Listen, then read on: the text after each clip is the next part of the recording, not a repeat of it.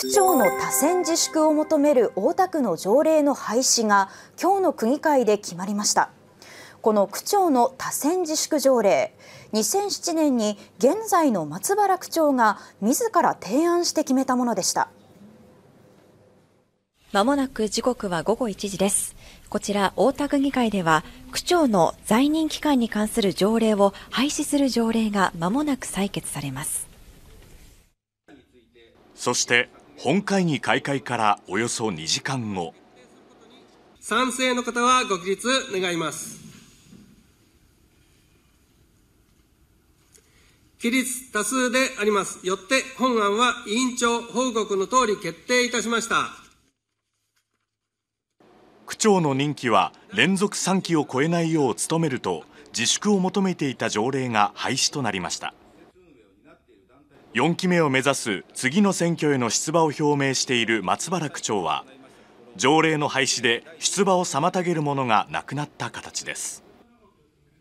多選自粛条例をめぐっては条例を定めた他の区でも紆余曲折がありました。杉並区では2003年当時の区長によって通算3期を超えないとする自粛条例が定められました。しかし次の田中良区長は立候補を抑制する力が働き事実上の制約になると就任した年に条例を廃止しました。私が昔言ったことと現在言っていることが変わっているということも含めて区民の皆さんに判断をしていただくべきことなんじゃないかな。また中野区では田中大輔前区長が大田区同様に連続3期を超えないとする自粛条例を作りましたがその後一転区政は継続性が大切と自ら条文を削除し4期目の選挙に臨み当選。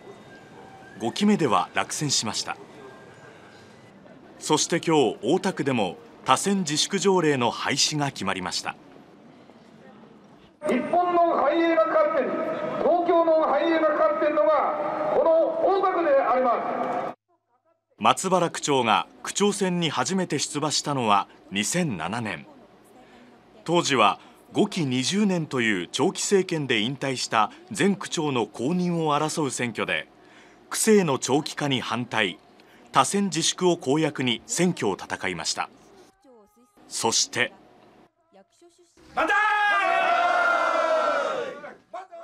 前区長が推す候補を破り当選を果たしその年の区議会で多選自粛条例を成立させました。その後松原区長は国際都市太田を掲げて羽田空港国際化に尽力し全国に先駆けて民泊の条例を定めるなど大田区の国際化へ実績を積み重ねてきました。そして条例で区切った3期目の任期満了までおよそ半年に迫った区議会で4期目を目指すと表明しました。現在の区政の置かれた状況を鑑みますとこれまでの区政の流れを止めず大田区の未来へのチャンスを確実なものにしなければならないまさに正念場にある。羽田空港跡地のまちづくりのほか少子化高齢化社会への対応や公共施設の老朽化対策及び区民の暮らしを守る防災対策など舵取り役として引き続き区政に邁進してまいりたいと存じます。多選自粛の条例を廃し4期16年の区政を目指すことについて区民はどのように感じているのでしょうか？あんまり長いっていうのはねちょっとやっぱり良くないんではないかと思うんですけど変わった方があんまり長いとやっぱりいろいろなこと問題起きてますもんね自分で決めた公約を、まあ、そう伸ばすというか変えるということはそれなりの強い意志があるんだと思いますけどね。まあ本人本人の自由だと思うんですけど本人がやり残したんだったら最後までやり遂げればいいんじゃないですか？区長は今まであの3期ですか？実績を持ってると思うんであの大いに賛成です。区民の間でも意見が分かれた今回の出馬表明。政治学者の川上和久教授は次のように話します多選になるとチェックする人たちがいなくなっていくんですねやはりあの組織が硬直化してイエスマンばっかりになってなかなかあの行政もですねあのそのあの知事とか市町村長のあの言うこと以外があの通りにくくなってくるあのそういう弊害が指摘されてるんですよね。